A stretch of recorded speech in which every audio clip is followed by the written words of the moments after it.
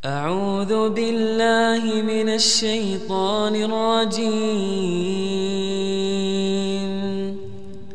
بسم الله الرحمن الرحيم.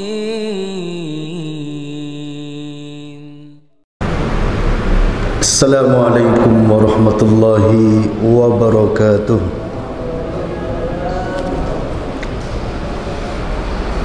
إن الحمد لله نحمده ونستعينه ونستغفره ونتوب إليه ونعوذ به من شرور أنفسنا ومن سيئات أعمالنا. من يهد الله فلا مضل له ومن يضلل فلا هادي له. وأشهد أن لا إله إلا الله وحده لا شريك له. واشهد ان محمدا عبده ورسوله اما بعد kita lanjutkan kajian kitab tauhidul ibadah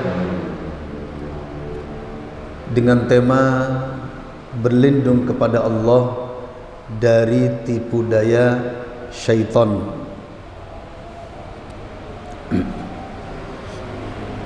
Setan akan senantiasa membisikkan kepada kita akan senantiasa melemparkan kepada kita was-was rasa tidak percaya diri akan melemparkan kepada kita kegamangan terhadap Allah Subhanahu wa taala dan setan akan senantiasa menghiasi kepada kita akan pekerjaan-pekerjaan mereka dan akan menipu kita. Sehingga terkadang kita dibawa kepada tidak percaya kepada Allah tidak percaya kepada Al-Quran dan terkadang kita dibawa kepada meremehkan sunnah Rasulullah Sallallahu Alaihi Wasallam. Itulah kerjaan setan dan setan telah menjadikan jalan-jalan hablum minan nas jalur horizontal telah diblokir dan dijadikan semua jalur-jalur kemanusiaan menjadi tidak jelas bahkan mungkin telah haram seluruhnya. Dan itu telah diceritakan oleh Allah Subhanahu wa taala ketika Allah menjelaskan tentang kronologi perseteruan antara iblis dengan Adam alaihi salam bisa diakses pada surah Al-A'raf mulai dari ayat 11 sampai ayat 17 mulai dari surat Al-A'raf mulai ayat 11 sampai ayat 17 tatkala iblis dan para malaikat yang bersamanya diperintah untuk sujud kepada Nabi Adam alaihissalam sebagai sujud penghormatan maka iblis merasa tidak pantas. Merasa tidak pantas karena dia merasa lebih baik daripada Adam. Iblis membantah kepada Allah Tuhan kita dengan mengatakan khalaqtani min nar wa khalaqtahu min min tin kata dia. Engkau ciptakan aku dari api sedangkan dia engkau ciptakan dari tanah. Jadi meremehkan. Iblis meremehkan. Aba wastakbar ia menolak lagi menyombongkan diri wa kana minal kafirin dan adalah ia termasuk di antara orang-orang kafir. Maka setelah dia dilaknat, iblis bersumpah dengan mengatakan, "Qala fabima awaitani la aq'udanna lahum siratakal mustaqim." ثم min bayni aydihim wa min khalfihim وعن أيمانهم وعن شمائلهم حتى لا تجد أكثرهم شاكرين Ada yang sudah mendapatkan terjemahannya dibaca yang keras?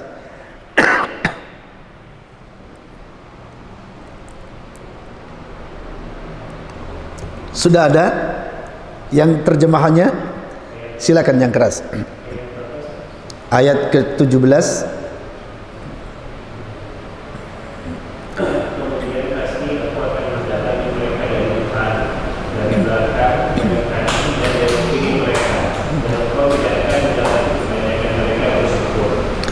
Kata iblis, karena engkau telah mencelakakan aku, maka akan aku datangi mereka dari akan aku halang-halangi mereka kata iblis dari jalanmu yang lurus.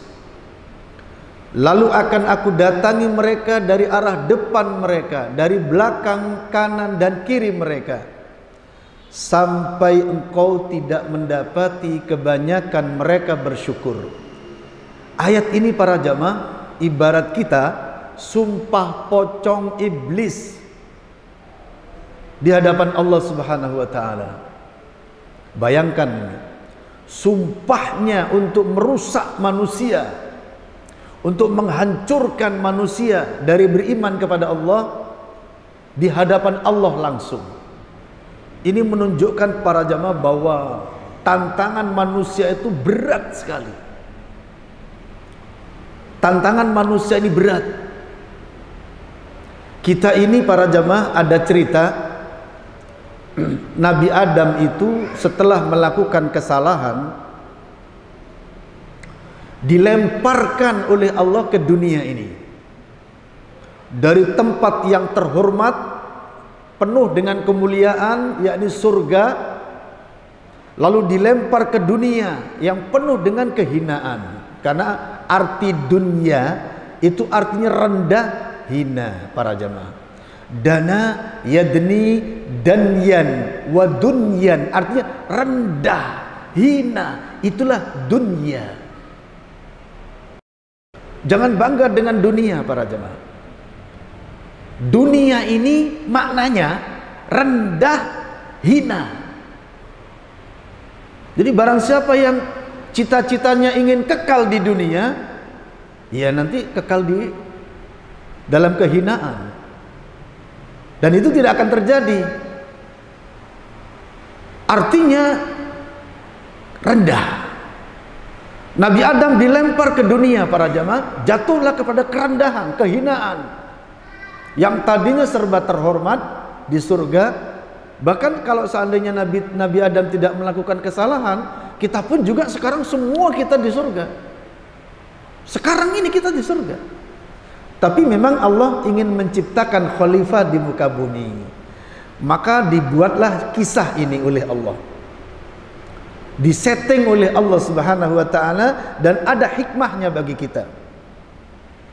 Setelah Nabi Adam terlempar ke dunia para jamaah jatuh kepada kehinaan, tapi Nabi Adam setelah itu mendapatkan taubatnya Lalu Allah telah umumkan taubatnya Nabi Adam pada surah Al-Baqarah ayat 37. Pada surah Al-Baqarah ayat 37 Allah menyatakan fatalaqqa Adamu min rabbih kalimatin fataba alaihi innahu huwat tawwabur rahim. Ada yang mendapat artinya? dibaca.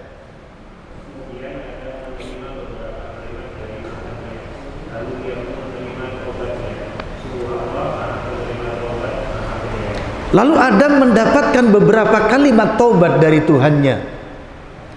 Lalu dia bertobat, fataba alaihi. Maka dia menerima taubatnya. Innahu huwa tawwabur rahim. Sesungguhnya dia maha menerima taubat lagi maha penyayang. Nabi Adam setelah terlempar, terhinakan di dunia, kemudian bertobat kepada Tuhannya dan sudah diterima taubatnya dan pada ayat yang ke-37 surah Al-Baqarah ini Allah telah umumkan taubatnya. Berarti Nabi Adam setelah jatuh kepada kehinaan sekarang diangkat kembali. Diangkat kembali kepada kemuliaannya. Lalu tinggal siapa yang harus berjuang keras para jamaah? Tinggal siapa yang harus berjuang keras? Kita, anak cucunya. Kita sebagai anak cucu Adam pun harus berjuang keras agar diterima taubat kita dan diangkat kembali oleh Allah Subhanahu wa taala derajat kita sehingga kita nanti bisa berkumpul kembali bersama nenek moyang kita yaitu Nabi Adam alaihissalam di surga Allah Subhanahu wa taala. Kita harus berjuang keras. Jangan dianggap remeh. Kita hidup di dunia ini cuma sebentar saja. Sebentar. Kata nenek Waljinah sekedar mampir ngombe kata beliau waktu ada nyanyian apa itu dulu ya dunia ini sekedar mampir ngombe katanya sebentar saja kalau dalam istilah anak pesantren ad-dunya darul ubur la darul koror dunia ini sempat tempat menyeberang saja bukan tempat menetap Darul ubur tempat menyeberang. La darul koror bukan tempat menetap. Itu dunia. Dan itu sudah terbukti bukan? Manusia, apalagi manusia sekarang yang sudah mie instan istilahnya, sudah serba instan, instan, instan. Umurnya pendek, mulai dari umur lahir langsung mati, tiga tahun TK PAUD mati, SMP kelas 3 mati, kuliah tes tesis akhir mati, sampai kepada paling paling lama berapa? 80 tahun paling lama. Umur 100 tahun langka sekali. Nadhirun jiddan. Langka. 70 tahun rata-rata. Pokoknya kalau sudah 70 tahunan ya wis persiapan ya. Tasbihnya yang banyak, taubatnya yang banyak. Walaupun mati tidak mengenal waktu. 40 tahun enak-enak makan bakso mati. Iya. Ini menunjukkan para jamaah dunia ini bukan tempat menetap.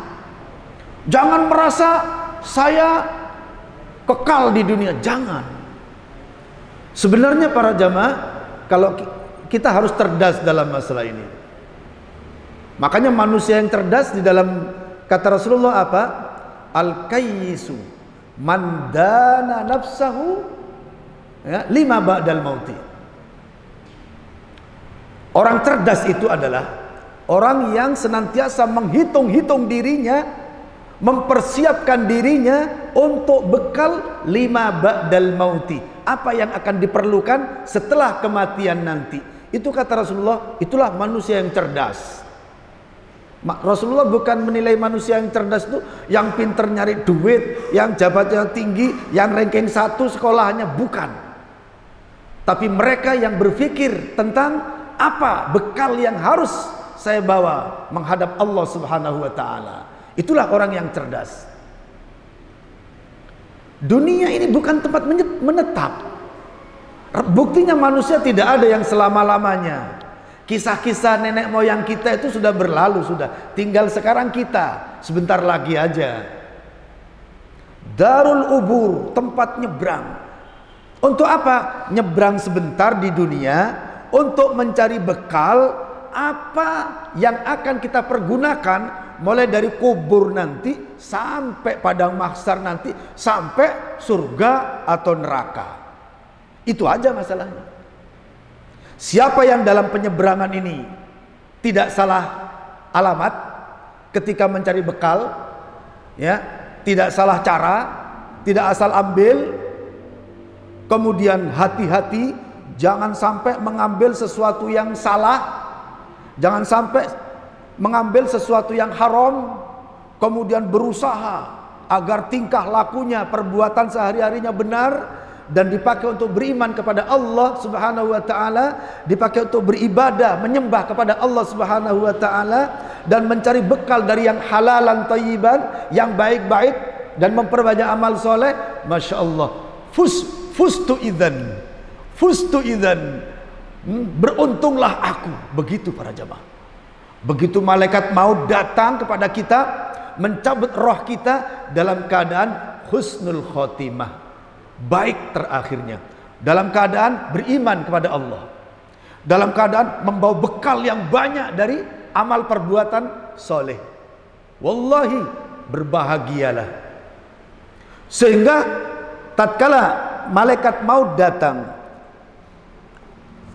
hendak mencabut rohnya saja sudah terasa.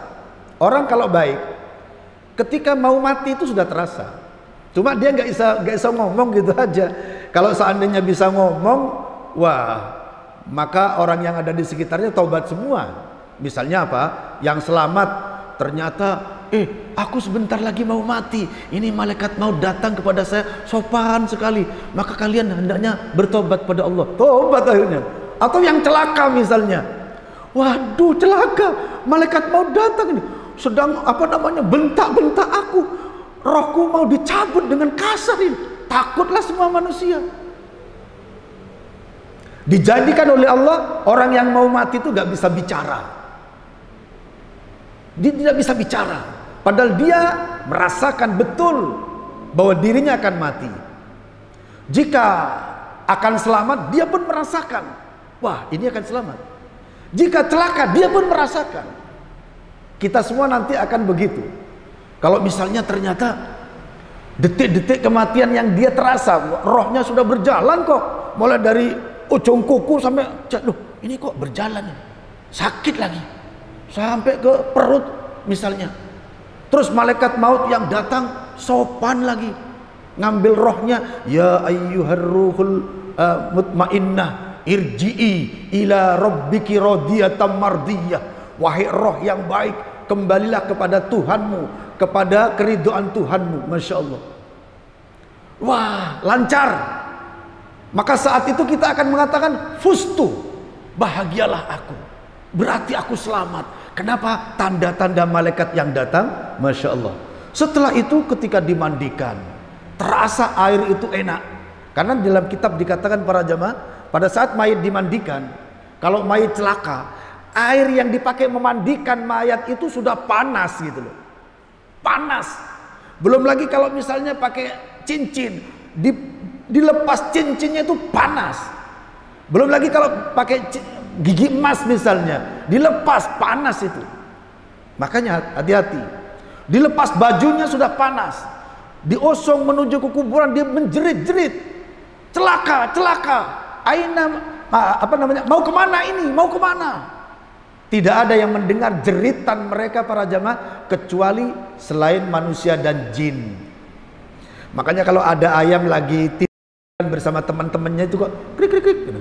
kok seperti ada sesuatu kadang kambing itu kalau makan itu sebentar-sebentar seperti melihat mendengar sesuatu mungkin teriakan mayat yang ada di sebelah sana di desa sebelah sana para jemaah celaka mau dibawa ke mana aku celaka celaka tapi ketika mayatnya selamat para jemaah maka dia mengatakan percepatlah perjalanannya, percepatlah perjalanannya. Kenapa? Karena ingin segera menempati tempatnya yang layak di kuburan, di alam barzah.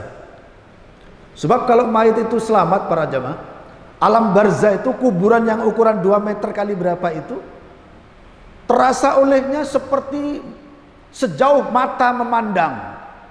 Sejauh mata memandang, luas. Memang dunia kita itu ya Masing-masing kita sejauh mata memandang itulah dunia kita. Sampai di mana kita bisa melihat, nah itu dunia kita sebenarnya. Ya begitulah. Cuman di alam kubur itu sudah tidak ada wakin wak.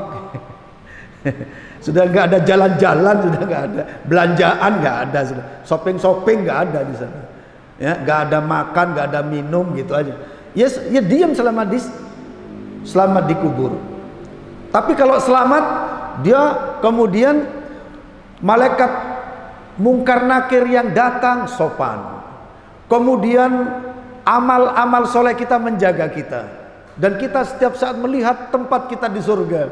Makanya doa orang yang selamat itu apa? Ya Allah segerakan hari kiamat. Segerakan hari kiamat. Sepanjang hidupnya itu yang di, yang diucapkan. Kenapa? Karena setiap saat melihat calon kamarnya yang di surga. Apalagi ada istri surga yang selalu melambai-lambaikan tangan. Masya Allah. Uh, begini, apalagi begini. Waduh, udah. Waduh, kapan, kapan? Begini. Eh, ayo, segera, segera. Cantik lagi. Wah, luar biasa. Ini kalau selamat ya. Kalau nggak selamat para jemaah, nauzubillah. Nauzubillah. Malaikat yang datang, malaikat maut yang datang itu gertak. Tuap, tuap, ketakutan akhirnya. Maka rohnya tidak mau keluar. Sampai dipaksa, ukhruji ayyuhal ruhul khabith ila ghadabi rabbik. Keluarlah wahai roh yang najis, kata malaikat maut. Menuju kepada kemurkaan Tuhanmu. Ya semakin gak mau keluar. Semakin gak pede orang dibentak.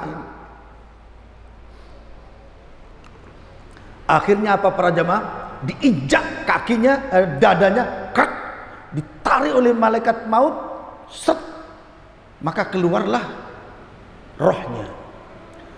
Tidak lama, sekedar sekejap mata di tangan malaikat maut diterima oleh malaikat hafadzah. Kalau rohnya baik dibungkus dengan kain yang bagus sekali dan baunya wangi.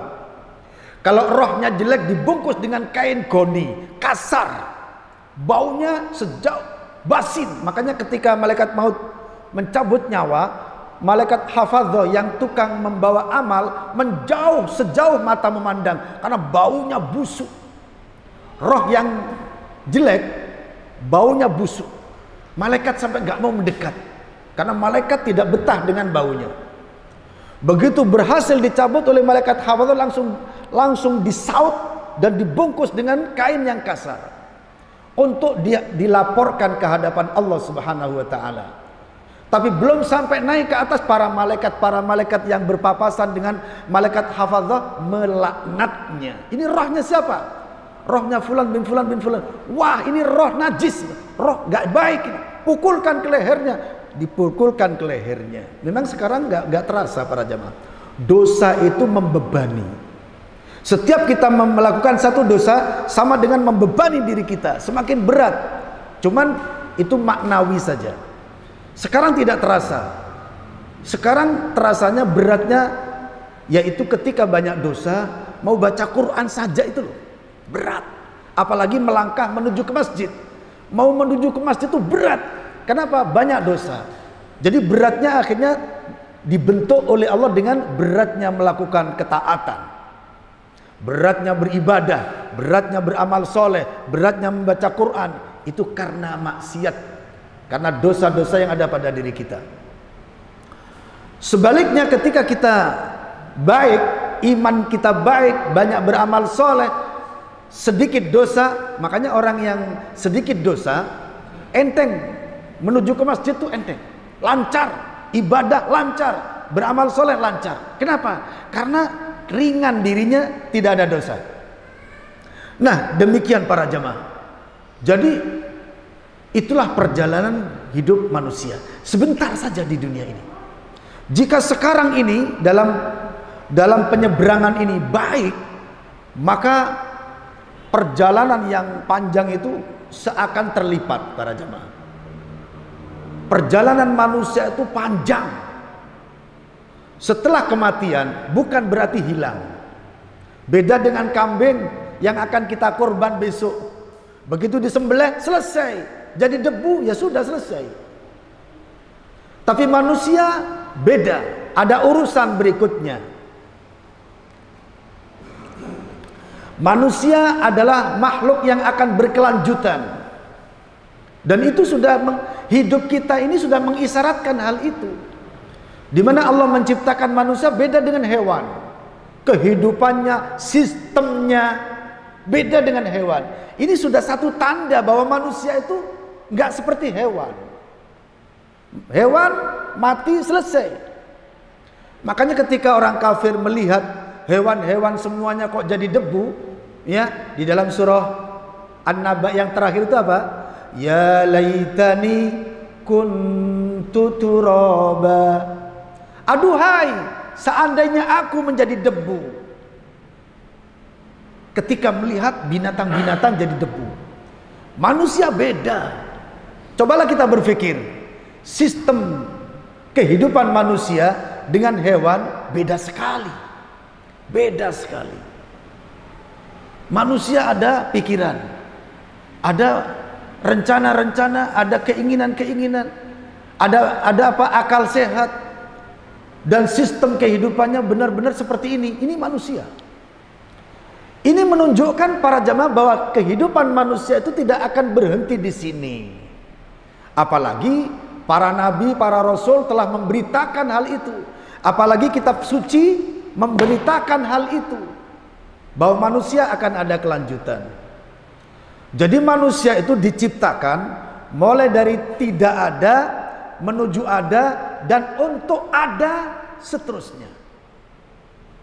Setelah mati yang di dunia ini, Allah akan hidupkan lagi nanti di alam barzah, di alam kubur. Di sana pun ada konsekuensi.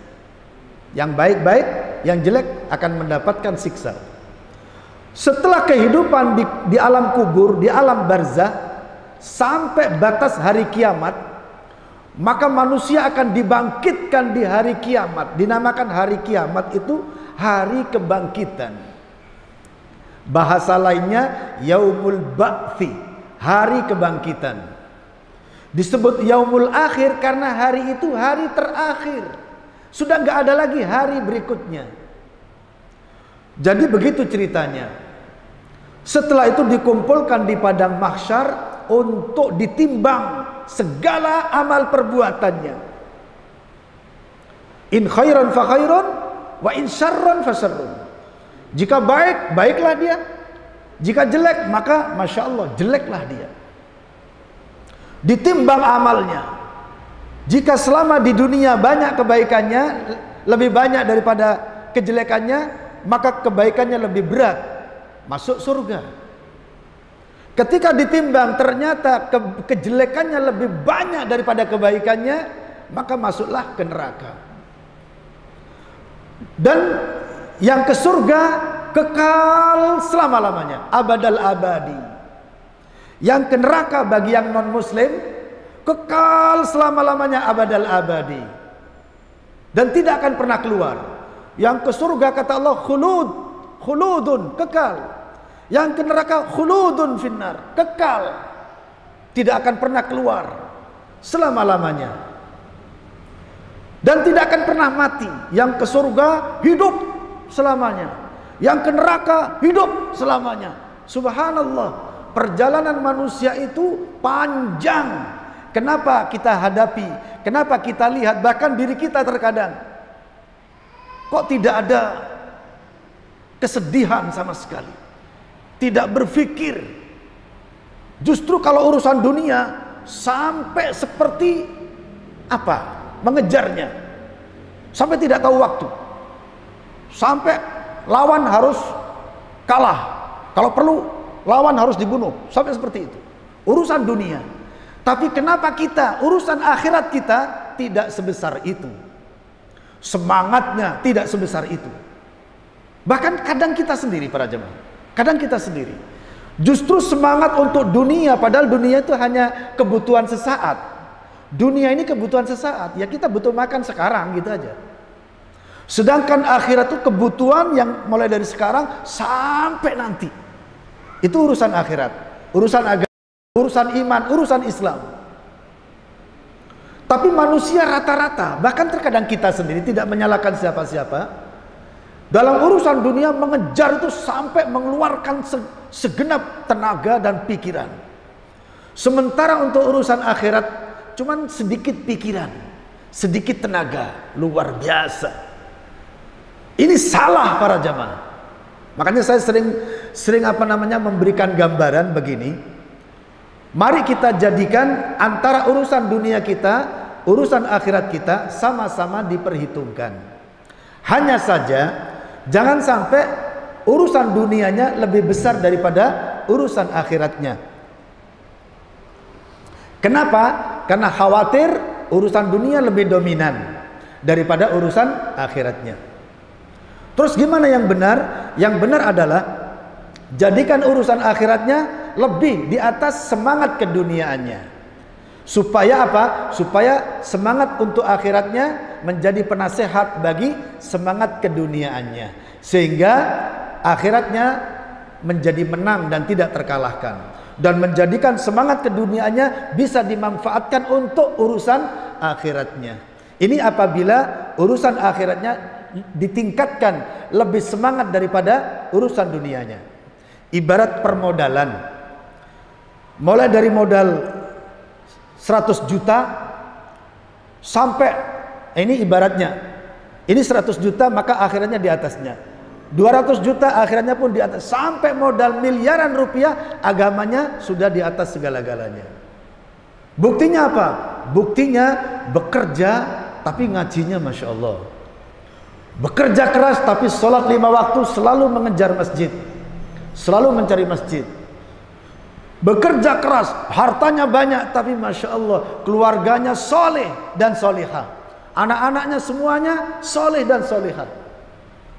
Bekerja keras tapi Masya Allah urusan akhiratnya Masya Allah bangun masjid di mana-mana menjalankan lima rukun Islam yang lima full misalnya nah inilah keseimbangan itu yang saya maksud semakin besar dunianya semakin tinggi pula rasa syukurnya kepada Allah Subhanahu wa taala itulah sebenarnya settingan hidup ini supaya apa supaya kita ini tidak sia-sia tidak gagal.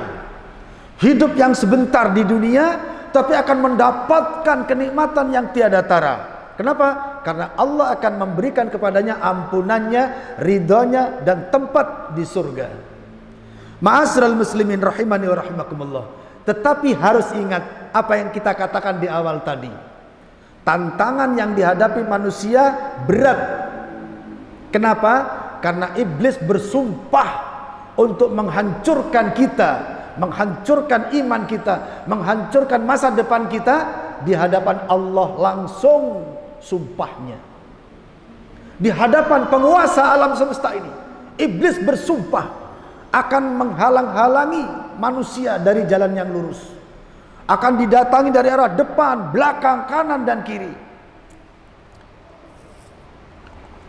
Ini artinya jalan hablum minan nas sudah tidak kondusif. Hablum minan nas, jalan depan, belakang, kanan, kiri. Ini lambang jalur hablum minan nas, jalur horizontal. Tinggal satu saja jalur yang apabila satu jalan ini para jamaah kita selamat, maka semuanya akan menjadi baik bagi kita. Apa itu? Jalur vertikal. Jalur hablum minallah. Hubungan kita dengan Allah. Satu-satunya penyelamat bagi kita. Karena jalur-jalur kemanusiaan sudah tidak ada yang selamat. Jalur depan sudah tidak kondusif. Belakang, kanan, kiri sudah tidak kondusif. Mau jual sabun saja. Kalau nggak gambar cewek telanjang, nggak laku. Betul? Saya ada teman di ada Ustadz siapa? Ustadz Ahmad ya di Jogja itu. Dia jual sabun, bikin sabun dijual ke ikhwan-ikhwan. Gambarnya apa? Gambarnya daun pring. Ditaruh di toko gak laku, gak laku. Orang baru lihat, oh ini sabun gambar pring, paling gak muru. Gak ada apa? Gak ada bursanya begitu. Akhirnya apa? Memang laku tapi dijual ke ikhwan-ikhwan pengajian-pengajian. Ya cukuplah katanya untuk dirinya dan anak-anak santri yang bersama dia. Kenapa? Yang beli itu ikhwan-ikhwan sendiri. Wallahi para jamaah, jualan apa kalau nggak gambar yang telanjang-telanjang nggak laku. Ini artinya jalur kemanusiaan sudah tidak jelas. Terkadang sistemnya jelek, ribawi. Setiap cabang-cabang pekerjaan di sana ada ribawi. Di sana ada modus sistem bisnis yang tidak sehat. Wallahi, ini sudah terjadi. Namun manusia tidak berpikir panjang ke arah itu. Padahal inilah hal-hal yang akan menjadikan kita repot menghadap Allah Subhanahu wa taala. Menghadap Allah nanti jadi kerepotan. Maka tinggal satu jalan saja para jamaah yaitu hablum minallah. Hubungan kita dengan Allah, iman kita, ibadah kita kepada Allah.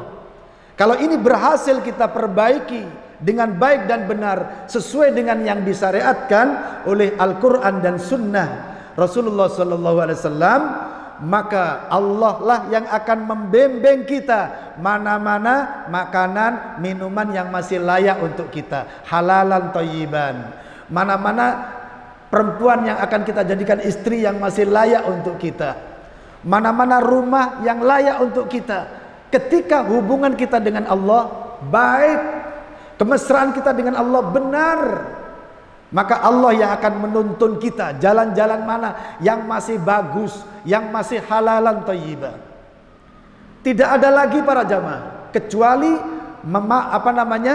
mendekatkan diri, merapatkan diri ke haribaan Allah Subhanahu wa taala. Itu satu-satunya jalan dalam hidup yang sebentar ini, dalam hidup yang cuman menyeberang ini.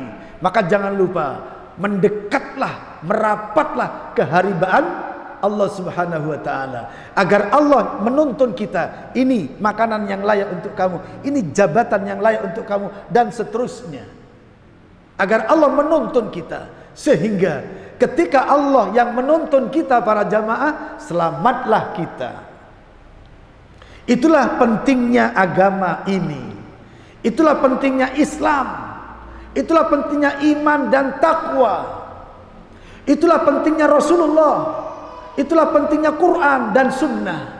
Agar kita kembali kepadanya, agar kita selamat dalam menghadapi sumpah iblis tadi, sumpah pocong iblis yang menyatakan akan aku halang-halangi mereka dari jalanmu yang lurus.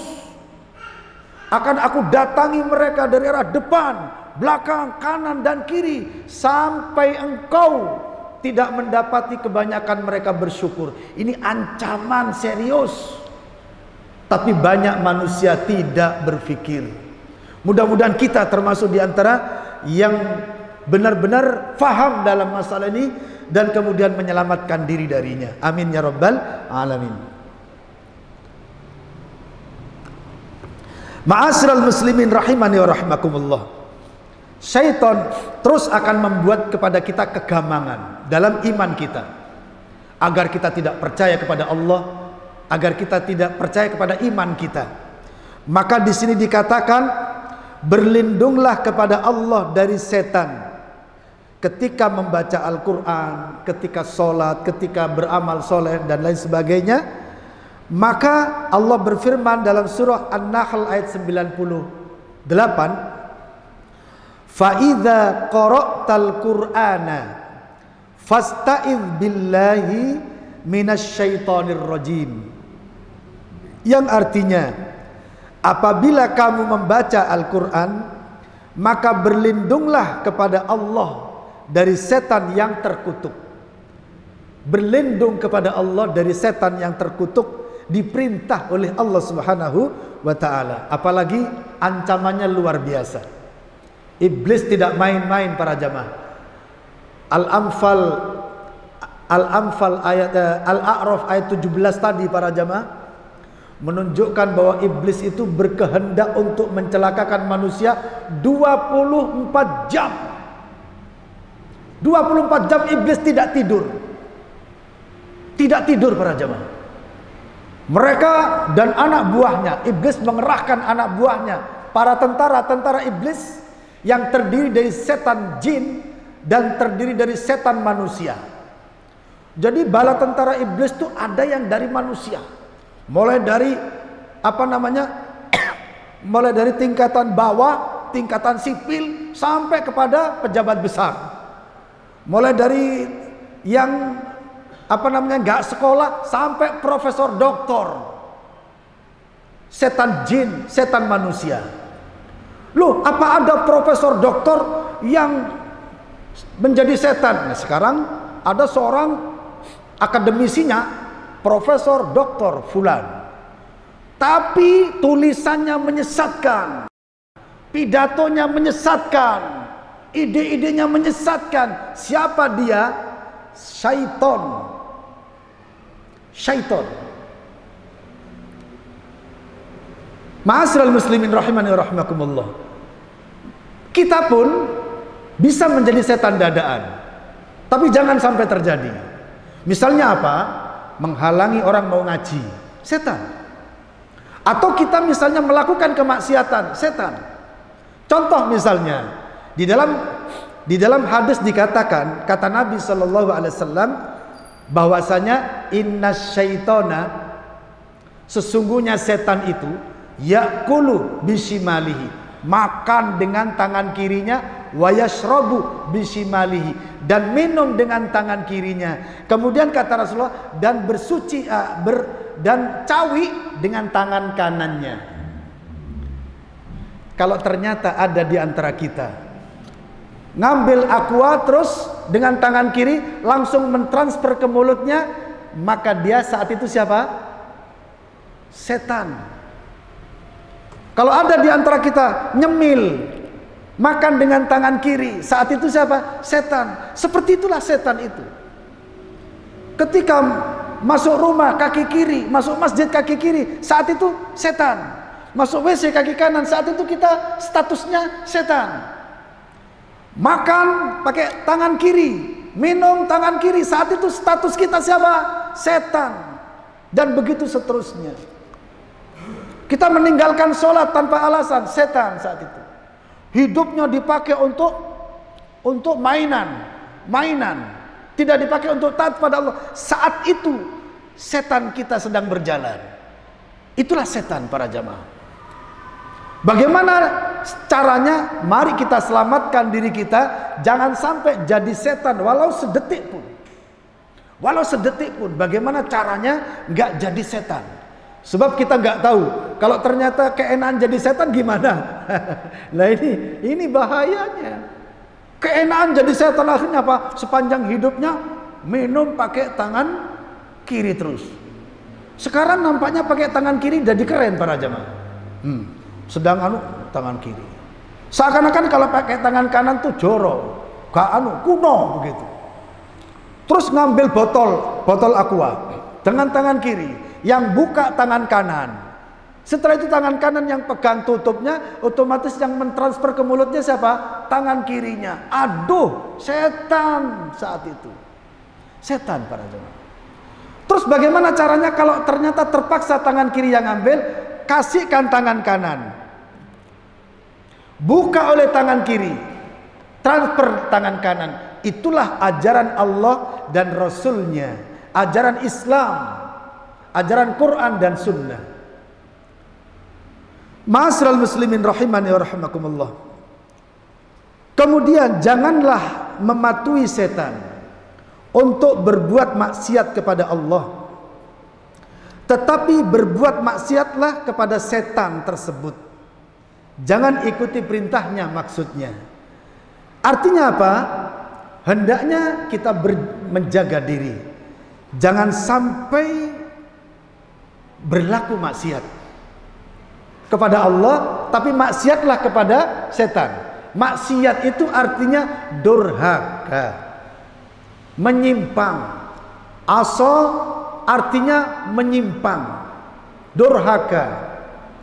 Jangan sampai durhaka kita kepada Allah, tapi kepada setan. Kenapa? Karena kita tidak mengikuti langkah-langkahnya. Sebagaimana dalam hadis yang panjang, langsung saya terjemahkan hadis ini panjang sekali para jamaah. Rawahu Ahmad wan Nasai. Kata Rasulullah sallallahu alaihi wasallam, Sesungguhnya setan menghadang manusia di setiap jalan-jalan kebaikan.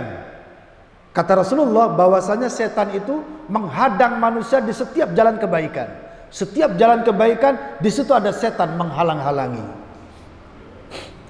Ia menghadang manusia di jalan Islam supaya Islamnya menjadi Islam yang tidak orisinil. Wah, diobok-obok Sampai akhirnya muncullah Islam Nusantara. Laknat. Siapa yang beriman kepada Islam Nusantara terlaknat. Itu para jamaah di Facebook itu karena di Facebook saya berani mengatakan orangnya. Yahya Sakub, pernah dengar nama Yahya Sakub? Dia berkata bahwasanya Islam yang benar tuh Islam Nusantara ini. Islam yang datang dari Mekah itu Islam penjajah, Islam abal-abal katanya. Yahya Sakub itu ngomong seperti itu. Terlaknat dia. Menghadang manusia supaya Islamnya tuh oleh, supaya Islamnya tidak lurus. Itu setan. Apakah kamu mau masuk Islam dan meninggalkan agamamu, agama dan bapakmu dan agama moyangmu? Nah, itulah setan diberi keraguan apa apa tetap di Islam atau meninggalkan Islam atau mengikuti agama nenek moyang kamu kata setan ia tidak menuruti setan dan masuk Islam. Nah ini yang benar. Maka setan menghadangnya di jalan hijrah.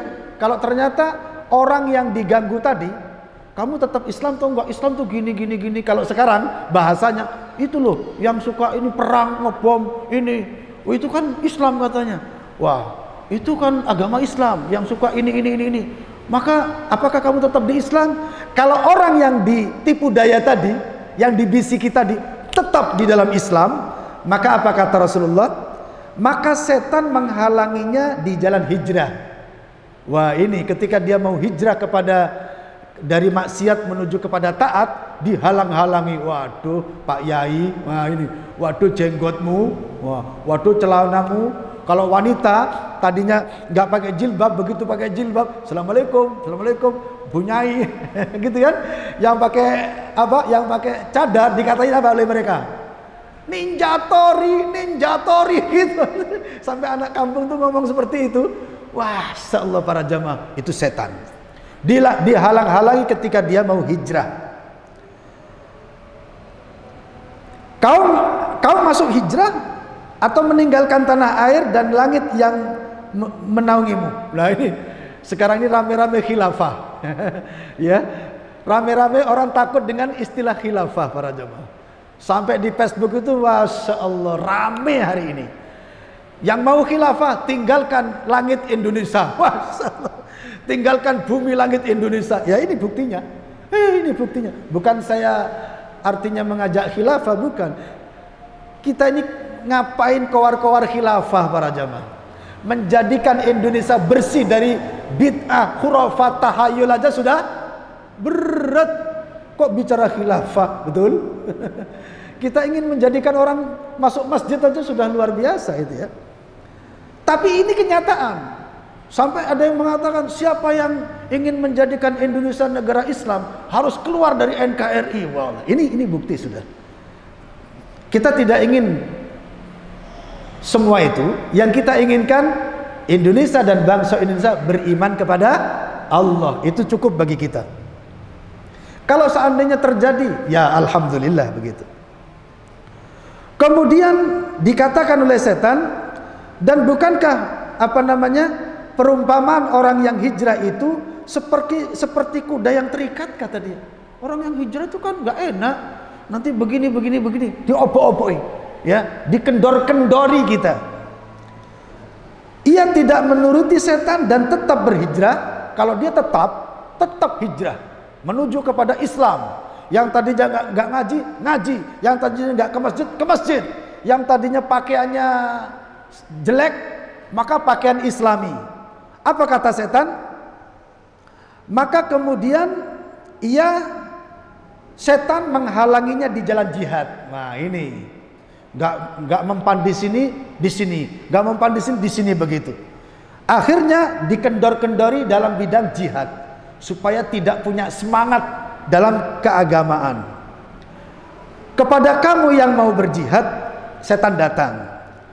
Kata setan jihad itu sangat berat untuk diri dan harta. Kamu bisa terbunuh dan istrimu diambil orang serta hartamu dibagi-bagi Ngapain kamu jihad? Mati kamu begitu. Masya Allah. Lalu ia tidak menuruti setan dan tetap berjihad. Apa yang terjadi? Maka Rasulullah Sallallahu Alaihi Wasallam bersabda, siapa saja yang melakukan hal itu, maka Allah pasti akan memasukkannya ke surga. Tetap di atas Islam, tetap di atas kebenaran, tetap berjuang dan tidak pandang, tidak apa, tetap berjuang pantang mundur. Maka apa kata Rasulullah? Allah akan memasukkan kamu ke dalam surga. Dan barang siapa yang terbunuh, maka Allah pasti akan memasukkannya ke surga. Dan apabila dia tenggelam karena jihad atau hijrah, maka Allah pasti akan memasukkannya ke surga. Apabila dia terlempar dari kendaraannya saat hijrah atau jihad, maka Allah pasti akan memasukkannya ke surga. Rawahu Ahmad wan Nasai. Inilah para jamaah bukti tentang apa namanya tipu daya setan. Maka hendaknya kita senantiasa berlindung kepada Allah dan memperkuat iman dan takwa kita kepada Allah agar Kapapun setan membisikkan sesuatu kepada kita atau melemparkan sesuatu kepada kita atau merayu kita, mengajak kita kendor di atas jalan Islam ini tidak mempan dan kita tetap istiqomah. Ada satu hadis yang ingin saya jadikan sebagai penutup bagi pengajian ini. Waktunya sudah habis ya? Ya. Suatu ketika Sufyan bin Abdullah Al-Thaqafi datang kepada Rasulullah sallallahu alaihi wasallam dan bertanya, "Ya Rasulullah, wahai Rasulullah, kulli fil islami qaulan." Berkatalah kepadaku tentang Islam suatu perkataan. La as'alu anhu ahadan ba'daka di mana aku tidak akan bertanya kepada siapa pun sesudah engkau. Apa kata Rasulullah? Qala Rasulullah berkata, "Kul amantu billah summastaqim. Katakan aku beriman kepada Allah, kemudian istiqomahlah, teguhlah, tetaplah di atas perkataan itu. Semoga kita dikarunia oleh Allah iman yang kuat, yang tetap, yang bisa mengalahkan segala tipu daya setan dan semoga iman kita membawa kita menghadap Allah Subhanahu wa taala biqalbin salim dengan hati yang selamat. Amin ya rabbal alamin. Mari kita tutup pertemuan kita dengan doa kafaratul majlis bersama-sama dengan suara yang keras. Subhanakallahumma wa bihamdika ashhadu alla ilaha illa anta astaghfiruka wa atubu ilaik. Assalamualaikum warahmatullahi wabarakatuh. أعوذ بالله من الشيطان الرجيم بسم الله الرحمن الرحيم.